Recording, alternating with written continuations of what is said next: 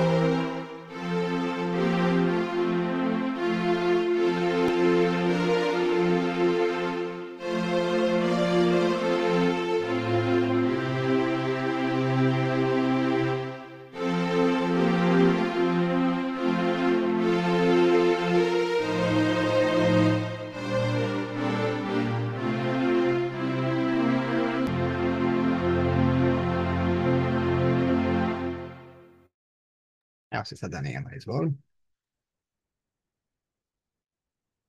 Aba oče, sveto ime Tvoje, hvala Ti, oče, za mogućnost da se i večeras ukupljamo s Tvoju riječ, da čujemo Tvoj glas istine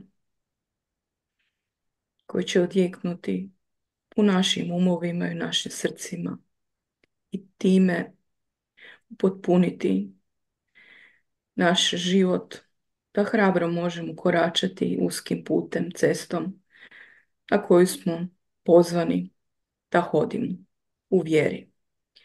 U vjeri i u obećanju te potpunoj poslušnosti i podložnosti tebi oče tvojoj volji da budemo ono što si ti i odredio.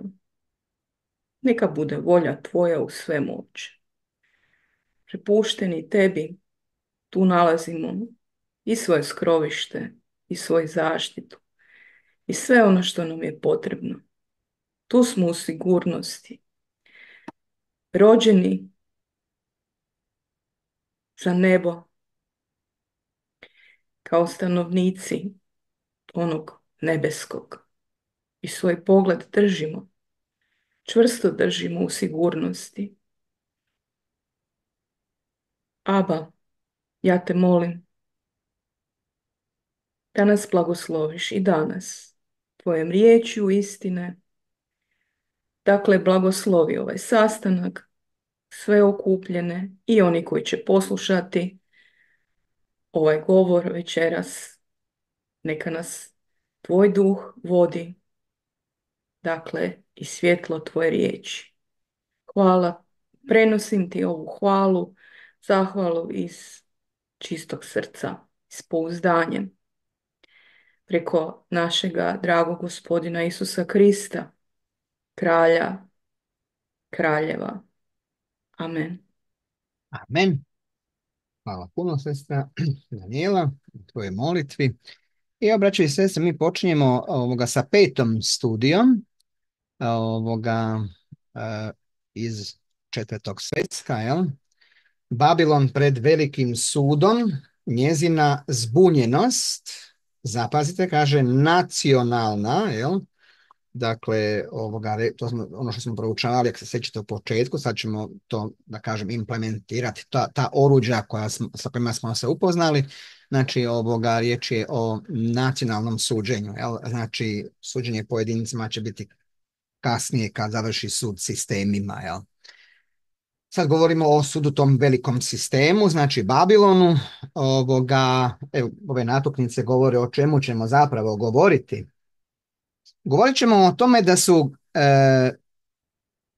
civilne vlasti u nevolji i da vide da sud ide protiv njih. I da onda u tom svom strahu i tjeskobi oni traže savez jedni sa drugima i da uzalud očekuju od crkve njenu moć iz onih starih vremena. Naravno, oni će pokušati, to će doći će do tog e, saveza, jel? Imali smo, kad smo proučavali knjigu proroka Izaije, sad, sad, sad se to baš lijepo nadovezuje, vidite kako je sve povezano, jel? Ovoga, ali to će zaista biti uzalud i tamo piše Izaija 8, slično, jel? kaže uzalud, jel?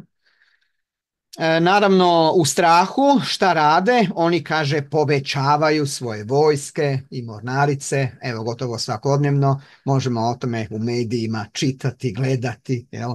Gotovo kažem svakodnevno. Isto sadašnje pripreme za rat, govorit ćemo o borbenim snagama na kopnu i moru, onda, vjerovali ili ne, E, koliko se poboljšava to ratno oruđe, ratna nova otkrića, izumi, eksplozivi. Mislim, koliko, koliko je to, znate, napredovalo od vremena kad je pastor napisao četvrti svezak do sad, ono, oni su naprosto usavršili oružje za uništavanje ljudi. Ono je usavršeno. E, govorit ćemo o tom proročanstvu iz Joela koje upravo govori, zanimljivo, Joel treće poglavlje, govori o tome da će se na kraju doba ljud, masovno će se nacije naoružavati. Ja. Kaže, probudite se moćni, neka slabi kaže ja sam jak, prekujte mačeve, obrnuto znači plugove u mačeve, koplja u srpove umjesto, umjesto obrnuto. Ja. Tamo piše baš u Joelu to tako. Ja. Također Sjedinjene američke države isto nisu, neće izbjeći to, jel? Ovoga, čak su pod prijetnjom i većih zala. Evo vidjeli smo to nedavno kada je bivši predsjednik bio umalo ubijen, jel? Mislim da to dovoljno govori o situaciji tamo kakva je. Mislim ono, jel? Ovoga, e, tako da nisu ni u ništa, ni povoljnijem položaju od starog europskog kontinenta na kojem se mi nalazimo. I na kraju ćemo vidjeti taj povik mir, mir, kaže to, to je iz Jereminog proročanstva, jel, povik mir, mir kada mira nema. Evo, svi ste pozvani da učestvujete s vašim komentarima, kao i uvijek, e, također i pitanjima ako ih bude. E, također, svi će sudjelovati u čitanju. Ovako, braće i sestre, e, idemo ovako, čitamo najprije sadržaj na stranici 113, jel? ovoga, evo zamolit ćemo sestru Evu da nam to pročita sve do vrha 114. stranice. Evo sestra Eva, izvoli slobodno.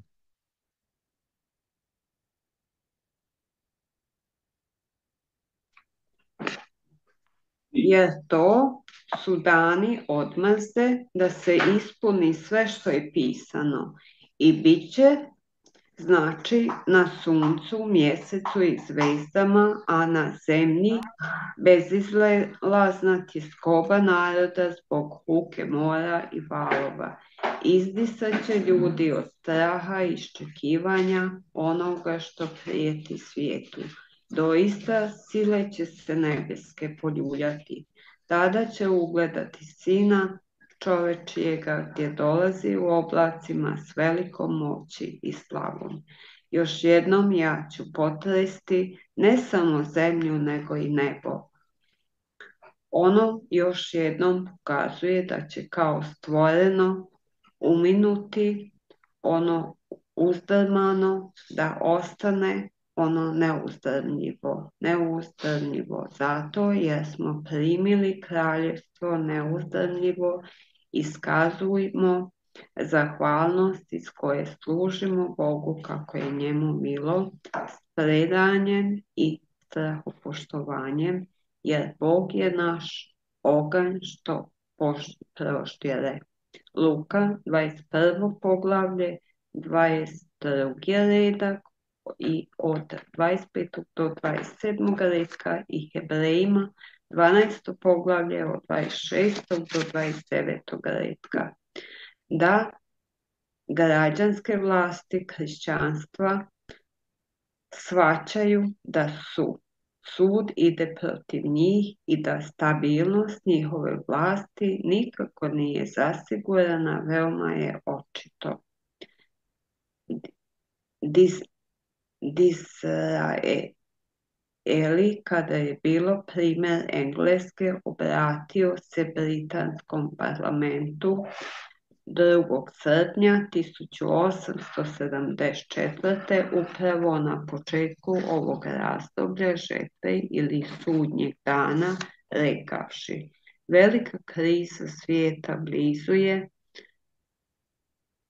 svijeta bliže je nego neki pretpostavljaju. Zašto je kraljevstvo toliko hrišćanstvo ugroženo? Bojim se da će civilizacija propasti. On je opet rekao, okrenite se gdje god hoćete, naširoko je raširen osjećaj neugodne tiskobe nacija, srca ljudi ispunjena su strahom. Nijedan čovjek ne može a da ne uspije zapaziti te stvari. Nijedan čovjek koji ikada pogleda u novine ne može, a da ne uspije vidjeti olujni aspekt političkog neba koji nas sada okružuje. Neki divovski prolomi oblaka zasigurno moraju pasti. Svaka vlada u Europi je uzdrmana. Svaki kraj i vlada drži svoju ruku na svojoj trsci mača. Na nama su vremena neobične grozote. Mi se približavamo kraju. E, onda, ovoga, braćo i sestre, koje izjave koje je dao Dizraeli, dok je bio premijer Engleske, pokazuju da civilne vlasti shvaćaju da je sadašnji sud protiv njih.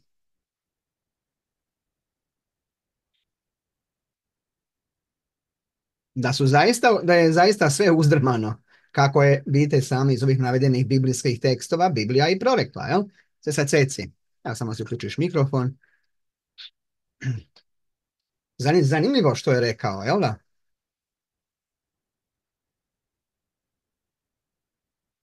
Da. On je rekao da velika kriza svijeta bliži se, bliže je nego što se mhm. pretpostavljalo. Mm Da kročanstvo je ugroženo,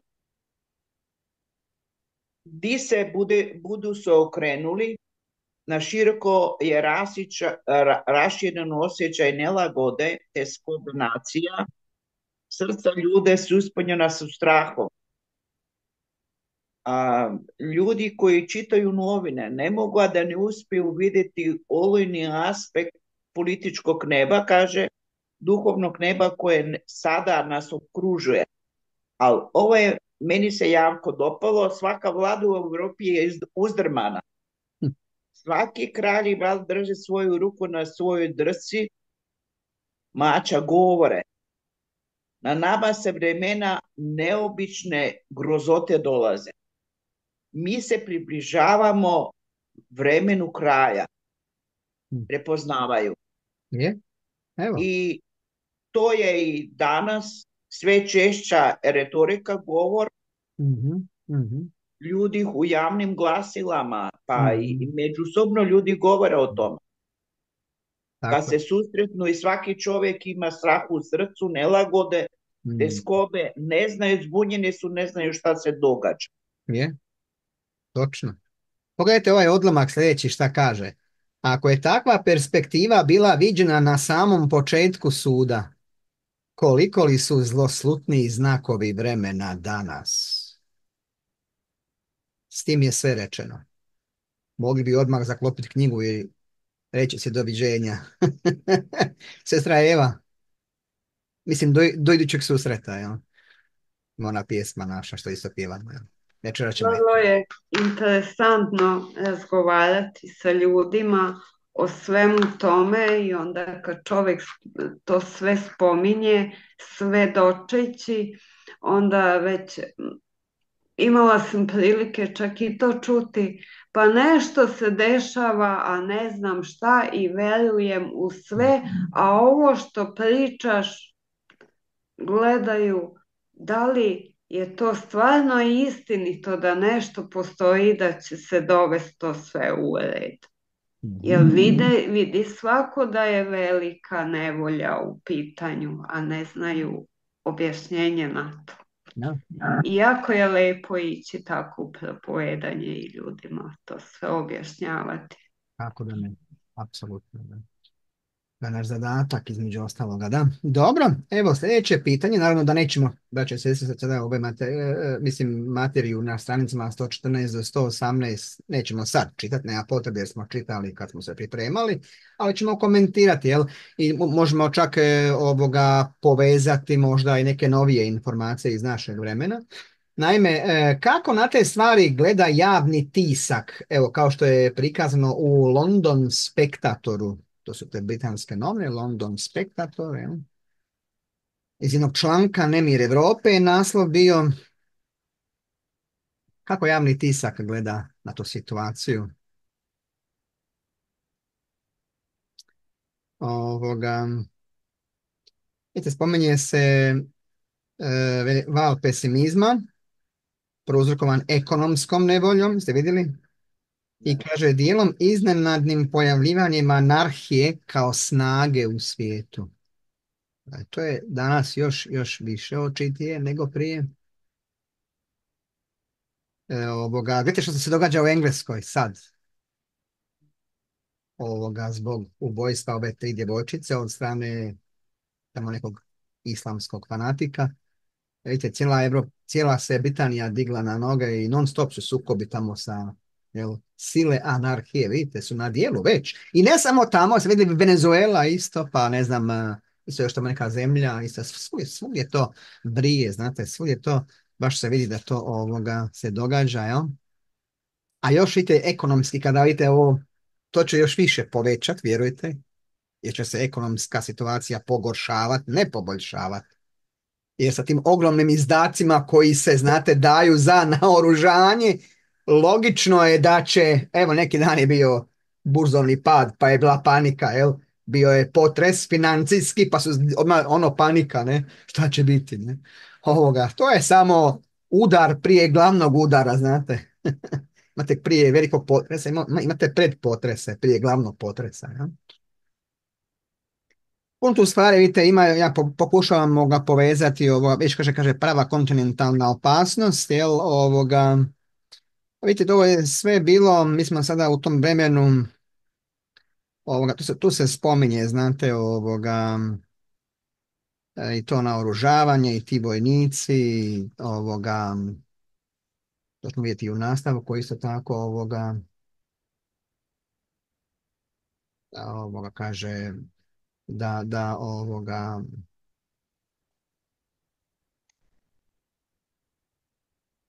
naprosto da ono ljudi, evo možda sljedeće pitanje možemo se nadovezati ako, ako niko od vas nema šta za dodati, ako neko ima slobodno može, sa Ružica. Ja bih rekla da su se ovi političari prvo uhvatili tog zaduženja koje znaju da neće nikad nikome vraćati. Oni već znaju neke stvari, oni imaju predosjećaj da to neće kao trebati pravdanje. E sad je pitanje koliko mogu zavest uza se da imaju svoju stranu kao štićenici kad ono penješ se negdje pa da neko čuva lojtre da ne padneš ili tak nešto. I tak se on sada drže. To je sada viđeno. Jer takmičenje kao ko će sve i sad što je najgore ne znaju ko će, na, ko će s kime, ko će se protiv koga boriti. Ono je točno kao da znaju da treba se sve poubijati. Jer otac je nebeski to ima u planu. To, je, to se zna. Ali oni to tako idu kao kad neko ide kroz selo nepozna daj mi ti to, daj mi ti to i zna da neće više tu naići. Tak se i on ponašaju. Baš ono otvoreno kako za anarhiju sprema, da ono bude jednom taj lonac isplodirao i rasuo se gdje koji koma stigne. Je. Eva? I tačno vidimo da je čovečanstvo na rubu ogromne katastrofe, čak možemo vidjeti da je na Orijentu su dvije nacije velike sile, Kina i Japan, čije stanovništvo zajedno dosežuju zapanjujući ukupno 500 milijardi. E, to su jako velike sile koje su isto u jako velikoj opasnosti i tu isto preti da izbije i daljnji rat u ostalim fazama pored ovih što je već to bi bilo katastrofa kad bi se Kina zaratila sa Amerikom i to mm sve ostalo. Hvala ti, Branka. Pošto čitamo sad ovaj dio gdje govorimo o tome što su novinari pisali u to doba, kad sam to čitala pa sam um, se prisjetila doba kad su novinari pisali što se zaista događa u društvu i kad su mhm. iznosili da možda neki ljudi nisu ni znali, ali ljudi su preko novina e, saznali što se događa u svijetu. Za razliku ako usporedimo sa danas, mi danas nemamo više takvo novinarstvo, imamo dirigirano i dobivamo informacije e, nepotpune i neistinite što se u stvari događa. To sam samo htjela na, e, skrenuti pažnju da je ipak informacija bila mhm. onoga ljudi, gledajte što se događa, nije dobro. Da, vidite, oni će staviti poreze na razne stvari, to sam nisam primijetio i to je način na koji će, znate, to dovesti do tog ekonomskog kolapsa, između ostaloga i to jer e, oni će poreze staviti na razne stvari, znate, mora, mora se, ne može se drugačije platiti ono što ćemo kasnije je to oružje. Sve sad Daniela? Pa evo ja sam sad isto htjela reći to da taj pesimizam koji će sve više i više vladati Europom bit će prouzrokovan ekonomskom nevoljom. Mhm. Znači, e, bit će ta ekonomska depresija manje će biti plaće, više se radi, to smo svi ga svjesni, manje, manje se može kupiti, jako teško se živi i to je za većinu stanovništva. I za pretpostavljati je, to znaju političari, da će se narod buniti. I što će više biti ta represija putem zakona, um, bit će i teže. Teže će biti narodu. Znači dolazit će stvarno, uh, ako kažemo anarhija, da, dolazit će do štrajkova, dolazit će do toga da će se ljudi boriti za određene prava, mhm. zakoni izlazit će, skupovi će biti. A sve će to biti ponovno ovaj, nekim opet unutarnjim uh, zakonom jer oni, oni moraju pokušati uh, održati red kako bi ostali na vlasti. I to će tako opravdavati i to će ići neko vrijeme. E, znači, e, sve više i više vidimo da se policija jako naoružava, e, dobre plaće nude prilično. Mislim da će, što se tiče vojske i policije, to biti najbolji plaćeni poslovi. Tako da, evo, zbog te tjeskobe ovaj, počet će se odvijati takvi jedni procesi, možemo reći, u tom smjeru. Jako lijepo povedeno, super, točno, točno. Evo sljedeće, imamo 118. stranica do 123. Imamo izvatke iz obraćanja ovoga Jamesa Becka, istaknutog pravnika tog filadelfijskog suda. Ovoga, to je u časpisu The Christian Statesman, kršćanski državnik. E, tema je bila tjeskoba nacija, zanimljiv naslov, jel? Ovoga, gledano, je, gledano je, ok, prošlo stoljeće u retrospektivi, ali vrlo interesantno. Znate šta on tu kaže? Ovoga, kaže, naše vlastito stoljeće, počev sa grmljavinom Napoleonovog topništva na ravnicama Marenga i približavanjem e, njegovog kraja sa sličnim odjecima i sa orijenta i sa zapada, nije, kaže, poznavalo ni jednu godinu mira. Nevjerovatno, jel? ovoga, to je nevjerojatno, stvarno, stvarno strašno, da. Da. I onda dalje ima, to se vidite, spominje, spominje se upravo to u vezi naoružanja, e, da su se, kaže, vojske udvostručile, nacionalni, kaže, dug evropskih nacija, uglavnom je nastao zbog, pazite, ratnih svrha i, kaže, cijeđenjem znoja iz ljudi, vidite, Jel? Kaže, dosegnuo je nepojmljivih ukupno 23 tisuće milijuna, milijuna dolara. To je bilo onda, koliko je sad. Zavrtilo bi nam se u glavi kad bismo znali, vjerujte. Svačate. E, kaže, koplje, kopljanik, mač, bojna sjekira su bačeni kao igračke iz djetinjstva. Umjesto toga imamo šta? vojnu pušku koja može ispaliti deset puta bez ponovnog umetanja. To je takozvana automatska puška. Ja. I kaže može ubiti na u, udaljenosti od 4 km. Šta mislite? Znači može na toj udaljenosti ubiti. I kaže čiji dugi poniklovan, poniklovan znači sa, sa niklom, metak može uništiti troje ljudi na svom pravcu prije nego je njegovo dijelo uništenja dovršeno. Znači troje može proći kroz troje. A šta je sad, braćo i sve? To je bilo onda, na početku stoljeća. A šta je sad? Kad bi se vidjeli kako izgleda sadašnje, nećemo sad to prikazivati, ne? Nema potrebe, vjerojatno ste vidjeli, ali ovoga, to je do savršenstva do, došlo na oružanje sad imate, mislim, o, i, ovo, i ovo su sad isto igračke iz djetinstva. u usporedbi s onim što sad imamo, svačate. Ajde, oni se, pazite, i oni se naoružavaju, kaže, daleko metne, kaže, sustavi za zemlja, zemlja, daleko sežno, kao za, veli, e, kao to je e, za odračanje, kao neprije. Viš, oni kaže, oni se s tim održavaju, pazite, na kojem nivou je čovječanstvo, da se oni na tom, oni se na tom nivou Uh, oni na tom nivou održavaju mir odvraćanjem neprijatelja. Evo koji nivo je do, dosegla civilizacija koja sebe naziva kršćanskom. I to kažu, pa čujte sami, zar ne? Mislim, ja to rekao, ni vi. Oni sami to kažu, jer nije tako? Govore o kršćanskim vrijednostima i tako dalje, jel? A čuvaju mir tako što kupuju oružje za odvraćanje neprijatelja. Pa je to ono čemu nas Isus učio? Je to zlatno pravilo Matej 7.12. redak gdje Isus kaže sve što želite da ljudi čine vama, činite i vi njima. Je to to? Da kupujemo oružje? Što suvremenije i što bolje, sa još većom razornom moći, da ubija što više ljudi, nedužnih, mladih, tamo jer su samo na drugoj, jer se eto potrebno da su rođeni tamo na drugoj strani ili ne znam gdje. Čemu to liči? klaonica jedna obična, kršćanska klaonica, sestra Ružica.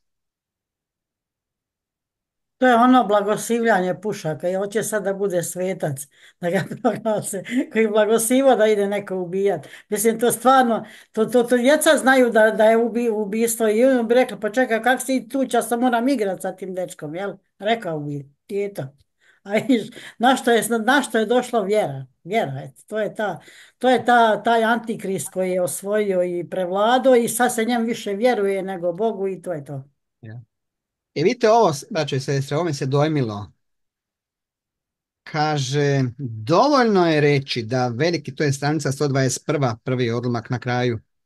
Dovoljno je reći da veliki stratezi Europe vjeruju da će buduća smrtnost u bitkama biti toliko velika da će biti nemoguće pobrinuti se za ranjene ili sahraniti mrtve i kaže mnogi od njih će nositi kao potrebni dio vojne opreme šta? Pokretni krematoriji da spale one koji padnu u bitci. A sad se to događa, vjerovali ili ne, u Ukrajini. Upravo tamo i sa ruske i sa ove strane imaju pokretne krematorije. Jer je ogromna smrtnost. Znate koliko je do sad? Skoro milijun sa ruske strane, jer oni su agresorska strana, mislim napadačka, bez daljnjega, e, imaju više žrtva normalno, imaju negdje oko 600 e, tisuća poginulih. Sa ukrajinske strane, prema zadnjim podacima, 300 tisuća. Znači zajedno malo više od 900 tisuća. Skoro milijun ljudi je do sad poginulo. Šta vi mislite? U godini dana, pazite, u godini dana. Sve sa Daniela. Mene se ovaj, onako razmišljajući dojmilo ovaj izvješće ratnog dopisnika mm Forbes koji je rekao gotovo je nemoguće za bilo koga da ima točno prikazanu scenu sebi u njenoj punini koju će sljedeća velika bitka predstavljati zbunjenom i potrešenom svijetu.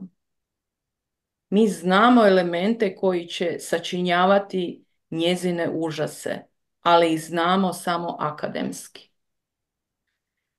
Evo, to, to znači oni znaju samo akademski i možemo i mi danas imati u svojim mislima neka predviđanja i evo čujemo brojke, ali koliko će ljudi zaista stradati ako uh, ako, ako ovaj, a bit će, bit će toga, pa to je, to, to, to je na milijune. Mislim, za, s obzirom na naoružanje danas. Nemojmo zaboraviti, tu su i kemijska sredstva, biološka, nije sve u, u metkoj puški ili raketi ili avionu ili e, rafalu ili helikopteru i tako, znate. Više ljudi su stradali, sjetimo se na frontu od onog dima kako su padali, a nisu, dok, su, dok nisu otkrili od čega. mm Da. A vidite, ova isto zanimljiva misao, 120. E, stranica, prvi pa nastavak na 121. stranici, baš mi je se to dojmilo. Kaže, ako te pripreme za rat koje pokrivaju naše vode ili zamračuju naše zemlje znače išta, tada ukazuju da je civilizirani čovjek na rubu ogromne kataklizme, koje je on očito nesvjestan. Jednako kao i ljudi u Pompejima posljednjeg kobnog dana njihovog gradskog života, kada su svjedočili sa ravnodušnošću zloslutnom dimu koji je sukljao iz ustiju kratera. Naše je doba posijalo kao nijedno drugo. Zmajevski okus mirnodopskih vojski i ljudsko zrno je sazrelo u žetvu krvi. Kaže, treba neko zapaljiv, poput Napoleona, da zapali svijet. Možda je to Putin. Vidjet ćemo, pokazat će vrijeme. Braće i sestre. Idemo dalje od 123. do 126. stranice imamo isto zanimljive neke materijale i izvješća. Kako neki od vladajućih suverena Europe gledaju na sadašnju situaciju? To je isto zanimljivo ovoga, usporediti, recimo usporediti sa današnjim isto izjavama. Imamo često izjave jel, i ovih vladajućih, često čujemo o tome, zar ne, jel? I preko raznih izvora, medija i tako dalje. Znači, kako neki od vladajućih suverena Europe gledaju Ovdje se recimo spominje evo iz New York Tribune od 5. svibnja, možda od tu da krenemo. 123. stranica, jel? odlomak 2, jel? Od tud kreću ti izvještaji. Oni, znate šta, počeli su abdicirati, to je znači povla, uh, se sa pozicije, pa nek njihovi sinovi. Oni su vidjeli šta se događa, pa su počeli bi naprosto ono bježati, bolje na vrijeme se spasiti nego ovoga. Jer u to vrijeme, znate, je počeo taj raspad, polako nije još, ali bio u pokretu taj, tih monarhija i razvoj demokracije s druge strane, jel?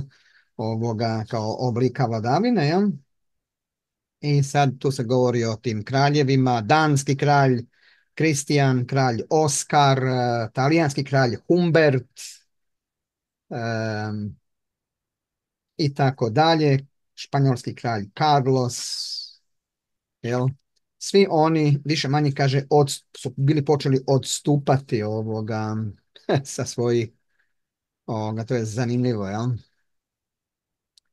Da, zbog e, rasa. Kaže ovdje nema sumnje da razvoj popularne vladavine u pravcu demokracije mora prirodno imati tendenciju ka smanjivanju moći i prestiža prijestolja. Jel?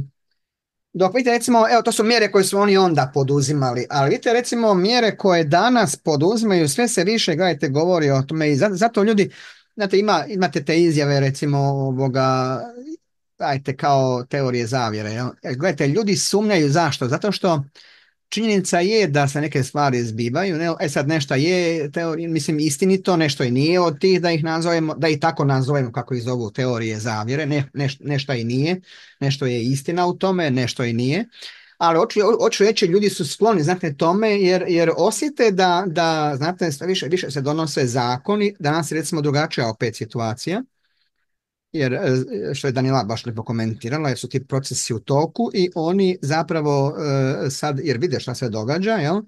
I oni sad stežu obruč, jel, ovoga, i donose, jel, da zakone koji e, ograničavaju, kontroliraju, sve veća, recimo, sve veća, sve veća kontrola. Recimo, primjer, interesantno je kako se kopira primjer Kine.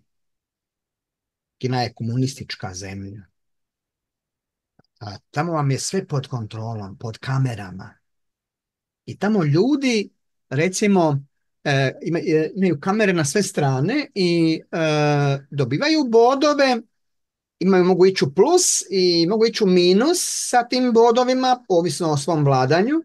E ako idu u minus, onda im počnu utjecati na račune, na kupovnu moć, znači imaju tu kon, kontrolu nad njihovim kart, karticama, e, bankovnim računima i tako dalje. E, jel, tako da, znate, a interesantno je da se sve to kopira ne? i da se više više se evo kamere postavljaju. Danas sam baš slučajno kad sam izveo mačka van, pa gore čujem razgovor sa trećeg sprata na balkonu su, pa se može čuti. E, neka mlada bila je malo posti tu kod bake kod djeda, pa čujem razgovor pa prolazila je tu nekud, ja ne znam kud, da je vidjela da se neke stvari postavljaju, nešto neobično, nešto čudno, nekakve, nekakvi uređaji, e, ona ne zna kakvi, niti šta je to u pitanju, jel? E, neki čudni uređaj, nikad to prije kaže nije vidjela, ne zna šta je, kao ponov, kao čujem razgovor pa se pita ono kao šta je to u pitanju. Ono, vidite, ljudi se boje, e, ono, ne znaju šta je to, kaže da se nešto isto na svjetiljke gore ove stavlja, ta nekakva 5G mreža, ne znam ovo ono, ne znam iz kog razloga. Uglavnom, znate, događaju se neke čudne, neobične stvari ovoga i tako dalje, neću ulaziti sada u to, e, nisam, ne, bavimo se s time, ovoga, nemamo ni vremena za to, a je bolje da se s tim ne, ne, bavimo, jer to je strašno ovoga, utječe zamorno, jel? Imamo mi svoju hranu s kojom se hranimo kao nova stvorenja, ovoga, ali činjenica je da, da stvarno, ovoga, stvarno se događaju čudne stvari ovoga, zbilja. I zato ljudi, kažem, ono, imaju te, e, oni kao, oni kao kažu teorije zavire. Pa ne bi postojalo to da se ljudi, ljudi se plaše gubitka slobode. Jel? Pogotovo, gledajte, možda ne toliko ovdje kod nas koliko u ovim zemljama koje su duže pod demokracijom. Mi smo još relativno malo pod demokracijom, mi smo bili pod jednim totali, da ga nazovemo tako totalitarnim, nije možda bio skroz totalitarni, ali evo, bio je blizu režimom, pa nekako, znaš, ljudi su navikli da država, znaš, sa svim upravlja, da ti ništa ne moraš, da i država čak i misli za tebe i tak dalje. Ne? To je bilo u komunizmu tako, ali to stari bolje znate, ne? kako bilo u onom sistemu, ja se sjećam nečeg malo, ovoga iz onog sistema, ali ovoga, ono, jel, e, i tako su ljudi navikli, ali recimo tamo gdje je naša demokracija duže, ljudi su osjetljivi, pa onda zna, zato dolaze te ideje, mislim, ono, sumnjaju na sve i svašta, gdje malo zadimi, što se kaže, ako nema vatre, oni misle da ima vatre, ne?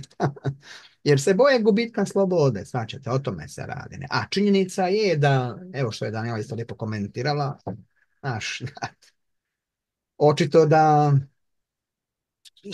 osjećaju strah, ne? pa onda te neke mjere će i dalje poduzimati. Ne? I jačaju te radikalne struje i tako dalje. Sestra Branka. E, pa ja sam dovoljno stara da mogu komentirati ovo za to prošlo doba, ali kad smo se mi uspoređivali, ja sam se uvijek čudila šta se ti Amerikanci boje komunizmu, po nama ništa ne pali ali ako smo usporedili sa Kinezima, onda smo vidjeli koliko su oni bili ograničeni. Jedno dijete mogu imati, izbiljam bilo, mislim današnja Kina i onda prije 40 godina nije isto, ne znamo, ali e, hoću, e, u stvari to sam htjela reći, kako žele ljude držati e, na taj način u pokornosti, jer je lakše vladati sa poslušnicima nego sa ljudima koji misle svojom glavom ali mm. imali smo unazad evo par godina primjer vidjeti što znači ograničenja i, i mm. moramo priznati nije lijepo živjeti na taj način. Da, da, točno. Tako da... Je, istina je. E sad, to je ono, e sad sljedeće pitanje imamo od 127. stranice do 129. odlomak 3 to je interesantno za vidjeti, braće sestre, kako je to počelo, recimo. Kakvi su bili odnose između socijalizma i vlada tijekom posljednjih godina, jel? Pa napeti, jel da, da, čak su u Njemačkoj pokušavali jel, zabraniti, čak bili, jel? Evo, može neko koga slobodno komentirati, e, ako želi se zabranka. Pa normalno ovoga kad su e, vlast vidjela da imaju neprijatelje, da to tako nazovemo, protivnike, mhm. oni su ih htjeli e, mhm. srezati odmah, tako da su čak i zabranjivali u nekim zemljama njihovim mhm. vođama, protjerali su ih i tako dalje. Ali što je, mislim, nikako čudo, onaj koji je na vlasti ne želi puštati tu vlast iz svojih ruku. I bez obzira koje doba je, svi se bore grčevito za vlast. Pa zvali se oni kraljevstvo, mislim na ove kraljeve mhm. koji su tad vladali, zvali se to e, socijalizam, e, komunizam, e, demokracija, svi oni kad se dokopaju vlasti drže se grčevito. Je. Ali evo, opet vidite, recimo, taj socijalizam je nadvladao, jel? I danas u mnogim zemljama je implementiran čak, no nije, nije kao ideologija, ali u smislu komunizma, marksizma i tako dalje, jel? Ali, ali, ali, je kao koncept implementiran. Evo, recimo, u SAD vam je socijalizam, primjer imaju aspekte socijalizma, što se tiče, recimo, evo ova nova, koja će se natjecati za predsjednicu, e, što je protivnica Trumpu, ona recimo, ja sam baš čuo neke njene izjave, zagovara socijalističke ideje, na primjer, jel? O toj jednakosti za sve, osiguranje, socijalno, jel, zdravstveno i tako dalje. E, smatra biti kao jednako, ne, ne smije biti razlika, jel, to su te neke ideje socijalizma koje socijalizam zagovara, jel, i koje su ono implementirane, vidite, čak i u Americi ovoga je to prisutno, ne, tako da, jel, ovoga, sve to ima svoje, a ovi se opet, znate, boje, ovi konzervativni, jel, tako da sve je to u toku. 129. stranica, odlomak 4, ćemo čitati. Evo se sa Branka će nam čitati, to je znači ovdje gdje e, kaže ovoga, zapažajući te činjenice i tenzije. Zapažajući te činjenice i tenzije, nikako čudo da vidimo kraljeve i vladare kako preduzimaju dodatne mjere zaštite za sebe i svoje interese od prijetećih opasnosti revolucije i svijetom raširene anarhije. U strahu i tjeskobi oni traže saveze jedni s drugima, premda je njihovo međusobno nepovjerenje toliko veliko da imaju malo nade za bilo kakav savez. Stav jedne nacije prema drugoj naciji je onaj animoziteta, ljubomore, osvete i mržnje i njihove međusobne komunikacije su utemeljene uglavnom na načelima vlastitog interesa. Stoga, njihovi savezi jedni s drugima mogu zavisiti jedno od drugome samo toliko dugo dok su njihovi planovi i interesi paralelni. Nema ljubavi ni dobronamjernosti u tome i dnevni je tisak stalno svjedočanstvo nesposobnosti nacija da poduzmu bilo koji pravac politike koji bi sve doveo u skladnu suradnju. Prema tome, uzaludna je nada koju se može očekivati od bilo koje koalicije sila. A vidite, ovo je napisano u vrijeme kada nije postojala Evropska unija, nije postojao NATO, nije postojala Euroazijska unija i tako dalje. A vidite kako je e, ovoga pastor Rasel bio vođen, nije bio nada, nadahnut, ali bio je vođen duhom, ne? Da je mogao to reći. E, pitanje glasi, e, s obzirom na gore navedene činjenice i tendencije koje smo prethodno komentirali, jel, koje mjere zaštite poduzimaju ovi na vlasti, znači vladari? Koje mjere zaštite poduzimaju? Šta radi?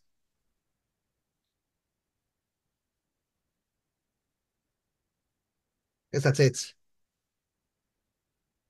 A oni traže, države traže saveze, udruženja, ne?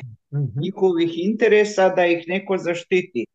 Ne, tako da se stvaraju, nije to blokove, već dvije strane. Je? Dualno, da, koalicije i danas je prisutno. Mhm. Što mi vidimo jedni protiv druge i to se sve misli, vrši se na oružanje, financijska kriza sve veća je, Mhm. preti se sa atomskim ratom, pravi se strah među ljudima Mhm. i ovoga nastaje jedna teskoba anarhija, ali sve ta mržnja se stvara među narodima, među državama, je, a sve je utemeljeno na načelima vlastitog interesa. I sve više ta demokracija koja e, je u pojedinim državama u biti je autokracija, vlasta uopće nepoštivanje zakona je svoje volje, ko da je ratno stanje i tako se ponašaju svi, ne? Je, Zavisi kom bloku pripadate, ne? točno. I ovoga, eto i novac, ušli si u finansijski, tako da ono što je vredelo nekad u budućnosti neće biti glavna valuta u, Mhm. trgov, u trgovinskom smislu, što sve više i više to di je novac, onda k- nastaje, Kina je vrlo, vrlo jaka i prodire u Europi, Mhm. apsolutno. I ovoga, dosta su oči uprte u Mhm. Kini, Mhm. u savezima. Ljudi najavljuju sad stalno imamo u javnim glasilima ratove jedne protiv druge, Rusija, Turska, pa e, savez e, Rusija, Kina, sve to vezano za naoružanje, ne? Mhm. I mislim, vrlo, vrlo slične uvjete vladaju koji Paso Raselka je tu pisao. U biti on je percipirao one glavne probleme što su uvijek šta su se ponavljali, ne? Mhm. Od uvijek. A uglavnom je načelo vlastitog interesa da se održi u svojoj moći i da vlada čovjek, Tako je. nad točno. čovjekom. Je. Da, tako da evo, to je činjenica sa Pa ja bi to vrlo jednostavno rekla, da te sile što rade, to su sve uzaludne, jer to je postavljeno sa strane Boga, jel tako? Jer Bog zna šta je najbolje za taj period dešavanja. Tako da njihova moć je nula, mogu se oni prepirati i postavljati i zakone i red i sve. to je samo privremeno njihovo vladanje, jer mi znamo koja će vlast doći uskoro i ta vlada treba da padne, što je sada. Hvala ti, sestra Ružica. Došlo je vrijeme da peru ruke, isto kao Herod. Sve napravi, pripremi da se ubije dijete Božije, ali ja ne bi bio kriv, znaš, ne bude neko drugi, ali ovamo da ne, ne bi skinuli sa fotelje, ja ću ipak oprat ruke. E, to je tako, to je došlo ono sve korakom onoga neprijatelja od Lucifera kak je on to krenuo, ali Bog je pripremio svoj plan i on to ostvariva i, i ostvariva jednostavno lagano, kao da dovedeš radnike u vinograd i on to sve porade, porade da ništa nemaš brige. E tak se sada radi. Sad se žetva odnosi, ono kako bi rekla, sama, pravo klasje će se odvojiti, ono odlazi, a ova smeće će ići pljeva, zna se kud. Dobro. E, evo, onda sljedeći podnaslov kaže crkvenjaštvo više nije oslonac, dragi vladari. Ovoga. Onda, koje su pozive politički vladari upućivali i upućuju nominalnoj crkvi. I sa kakvim rezultatima? To je obrađeno na stranicama 130 do 133. Ovoga, e, to je zanimljivo, ovoga, znate da to se vidi da oni imaju, nije to slučajno to, ono as, ono što se kaže as o rukavu ili onim kvizovima imate ili ja su rukavu u toj igri karata, ali imate onim kvizovima one kao Joker zovi ili ne znam te neke a, znate. Tako da njima je to isto dobro dođe, znaš, kao u smislu, jel, on u slučaju najgorega, evo, ipak čuje, iako religija više nema toliki utjeca kakvog je nekada imala, jel, ali će imati, jel, to je činjenica, jer očito da će ovoga i demoni se priključiti ovoga i činit će te znake i čudesa da tako ojačaju te sisteme. Lik zvijeri kada oživi i samu zvijer, e, kad se udruže sa zmajem, sa državnom vlašću, taj e, zli triumfirat, kako ga se naziva. Tako da sigurno znate da ovoga će to biti pokušaj zadnji, zapravo pokušaj ovoga da e, se to postigne neko rješenje, ali neuspješan pokušaj neće od toga biti ništa. To će se raspasti, trajat će neki prema biblijskom proročanstvu godinu dana i dakle bit će to strašno vrijeme. U to vrijeme će znači to je vrijeme mraka, to je noć kad niko ne može raditi, vrijeme totalne kontrole. Tada će doći ono zapravo, jel, to, i to će biti zapravo znak da su se vrata zatvorila, da su sve mudre djevice ušle na svadbu i bit će broj trajno zapečačen još će nekoliko od nas biti tu na zemlji, iako ćemo, i bit ćemo isto trajno zapečačeni, kako ćemo to znati ne znamo, ali ćemo biti trajno zapečačeni, znaćemo nekako ćemo znati, jel? i onda ćemo izlivati te pošasti i zanimljivo, bit će omogućeno daš, da se te pošasti iz, izliju, svih sedam, e, i onda doćemo, bit će to jedna tema koju ćemo posebno ovoga obraditi jednom prilikom. Idemo dalje ovako, 133. stranica i 134. ovoga govori o ekstravagantnim pripremama za rat, braće i sestre. Kako je strah od nadolazeće revolucije utjecao na nacije kršćanstva? A sad je to još više. Onda je to, vidite šta su onda radili, pazite ovo, kad nije još ni izbila ta revolucija, sačate. Nije još ni izbila, ali šta su oni od straha radili? A šta sad kada i te kako se vide da postoje, što je neko od vas bio spomenuo, te silnice, te tendencije, te sile, jel da, i tako, vide oni to, nemoj se oni to znaju još bolje nego mi. Ako mi to vidimo, onda on to još više, još, još bolje vide i znaju, vidite kako. A vidite, što, e, evo onda kažem, kako je utjecao taj strah od revolucije na nacije kršćanstva. Vidite ove brojke, koji su novci uloženi u šta? U naoružavanje.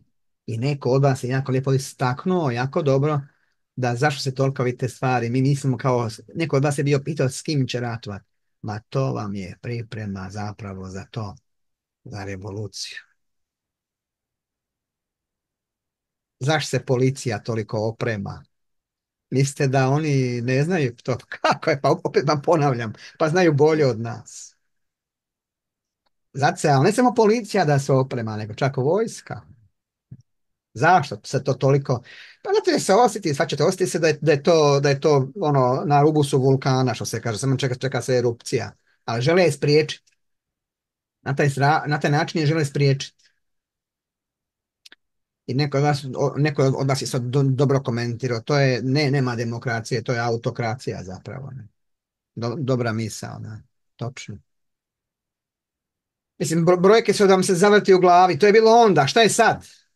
E, evo, znate šta, evo sad ću vam dati jedan primjer, pa ćemo moći tu, evo jedan ogledni primjer, pa da onda možemo jako dobro vidjeti situaciju. Ajde ovako da vidimo. Da vidimo. Ovako, trošak.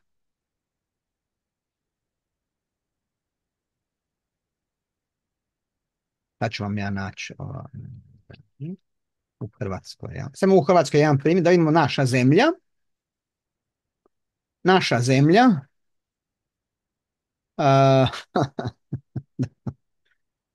Uh, mislim da ćemo ovo sve reći. Ne, ovo je bilo... Aha, tam malo. Ovo je e-građani. Sam malo. Uh, milijardu eura su znači avioni plaćeni šest aviona koji su za sad sletili na pleso. Milijardu eura. E, onda dalje kaže, pazite ovo, Hrvatska, evo da, da ćemo pa da vidite, to su samo neki izvaci iz e, vijesti. Hrvatska kupuje 30 novih tenkova. Evo o kakvom se modelu radi. Savršeni stroj za ubijanje, naravno, apsolutno. Oni se s tim ponose. 70 tenkova M84, za koje sugovornici jutarnjih tvrde da su u vrlo dobrom stanju. To je Leopard, to, naj, je naj, najpoznatiji, to Njemci proizvode, njemački takozvani Leopard, jel? E, sa brojnim poboljšanjima taj tank, jel?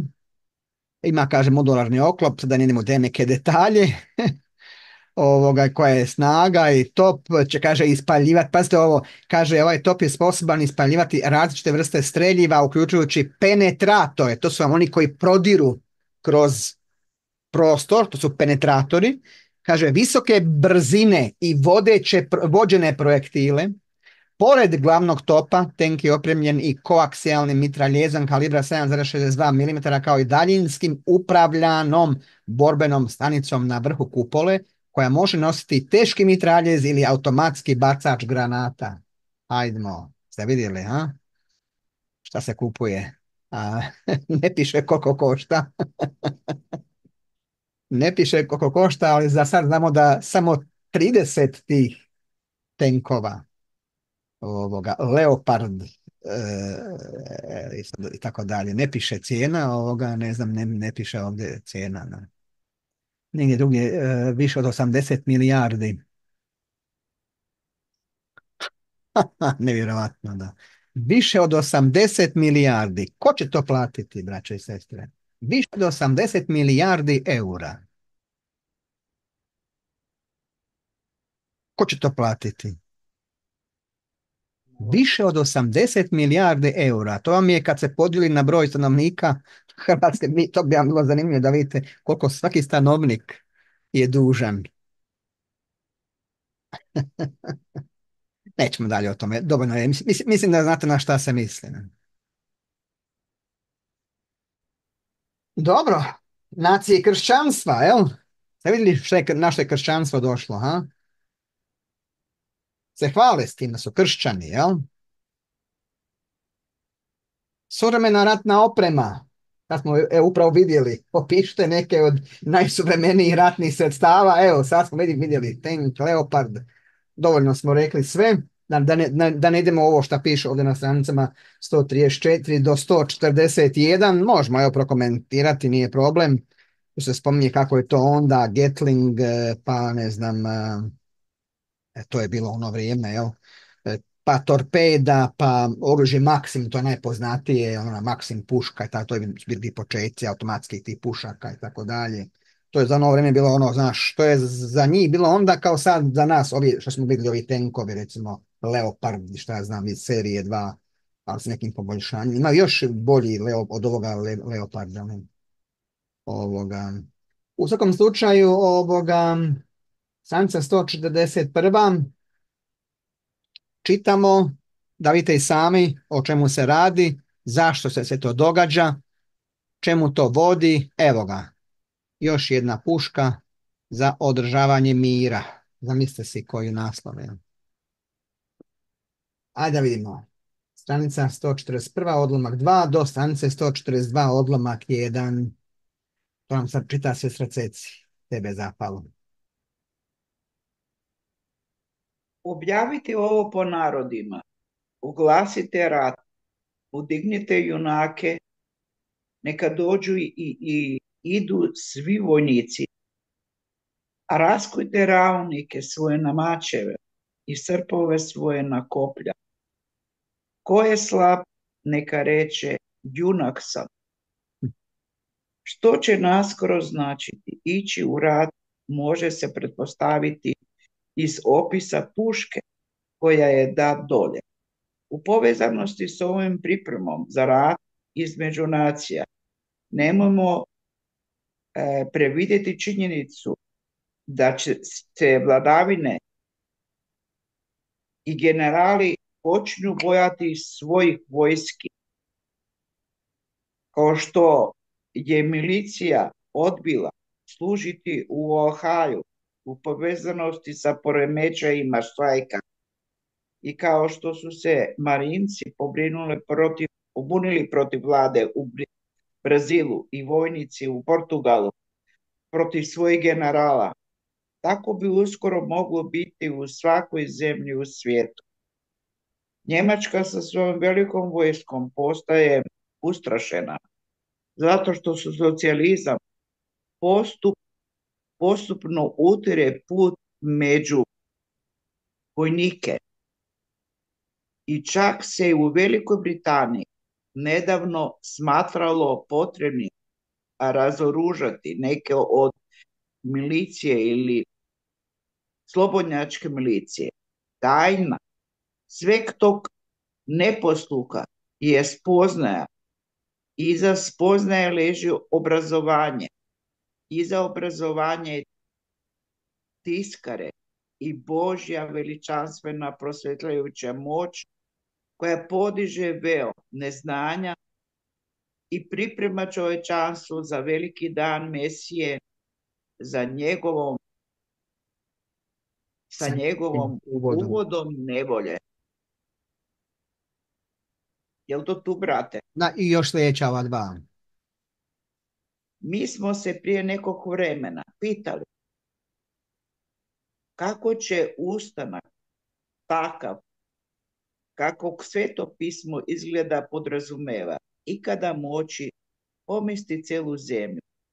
Kako će anarhija biti oslobođena unatoč sve kombinirane moći i utjecaja kapitala i civilizacije koji joj se suprotstavljaju. Međutim, mi sada vidimo da obrazovanje spozna utire put za najveću svjetsku katastrofu na koju čini se sveto pismo ukazuje da se može očekivati unutar nekoliko sljedećih godina.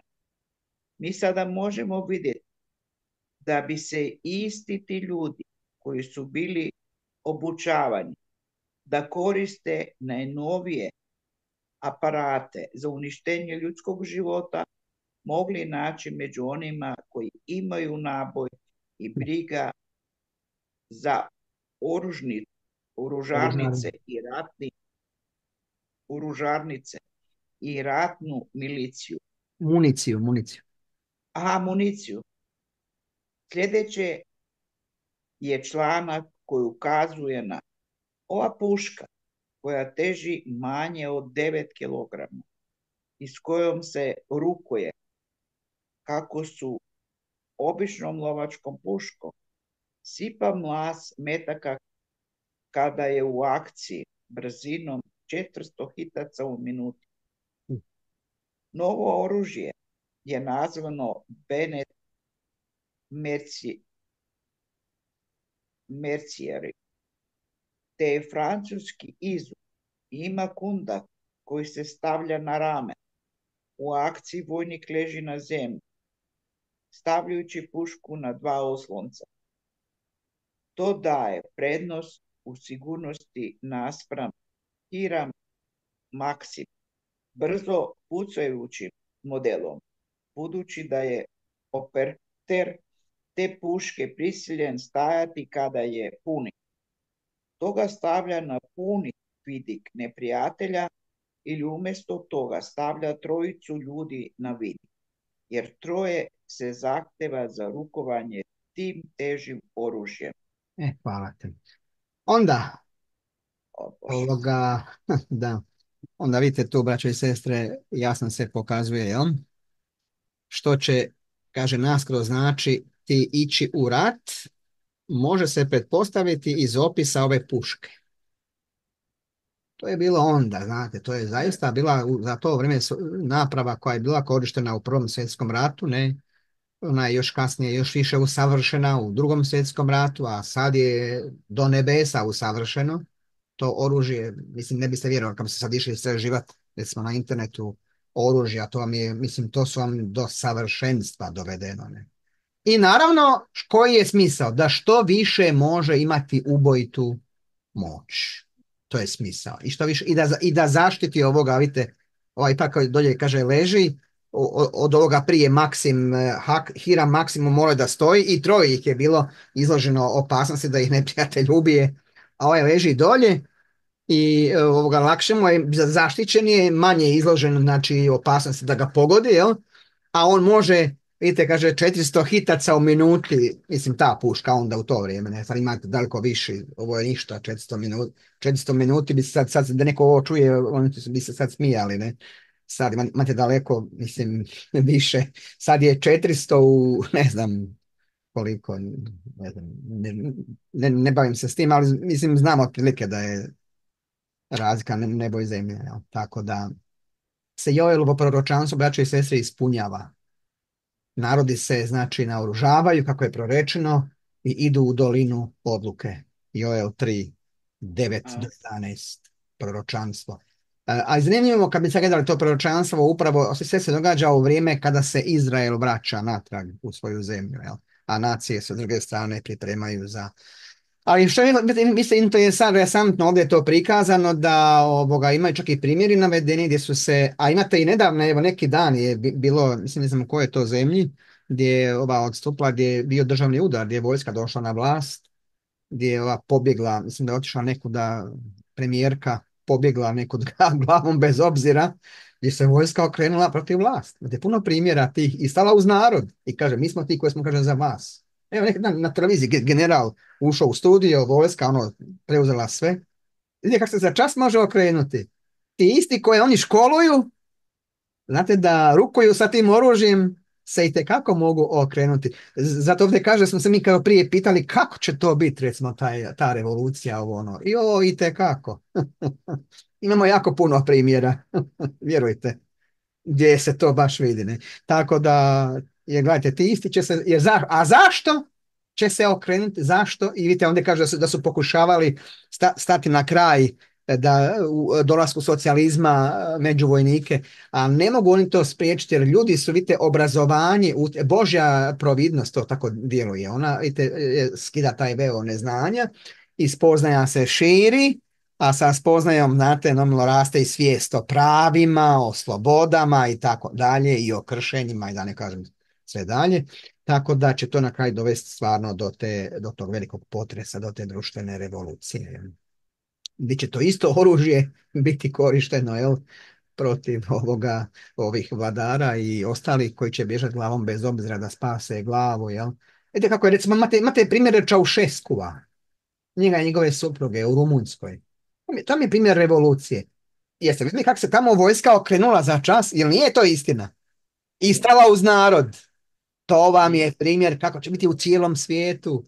Neki dan sam, sam gledao opet taj prikaz kad su ih streljali. Zamislite, on je nekada drmao diktator, čoveče dragi, diktator. Drmao tamo tom zemljom. U zlatu su živjeli oni njegova žena. Zlatnim žlicama su jeli. I na kraju završe čoveče ko gore nego dvije životinje. Propucali su ih, propucali su ih ono, oba dvoje su bili mrtvi. Ko to je strašno bilo, ima baš scena kad, kad ih streljaju, ne. Eto vidiš. to vam je to. Tako da, stvarno, nije se, nije se, za, nije se zaigrati, jel? E, a pogotovo kad znamo da Božja providnost stoji iza svega.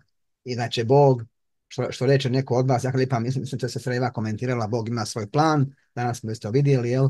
On će ga sprovesti, sigurno, u to nema sumnje. Vijezda će biti strašna, bit će kupka krvi, to smo čuli, ali čovječanstvo mora proći kroz to krštenje vatrom i krvlju da bi bilo spremno za kraljevstvo Božje. Jel? Tu ćemo evo stati, pa ćemo na iduće nedelje nastaviti dalje, redovno kao i uvijek, jer ćemo ujutro, naravno, jel, mislim da ćemo imati u Novoseorcu, čini mi se, jel. Ćemo imati, trebali smo danas, ali evo, e, nismo, imat ćemo sljedeće za to puta. Dobro, ovoga, evo tu ćemo, kažem, stati, imat ćemo sada himnu i zamolit ćemo onda sve Ružicu na kraju za zaključnu molitvu.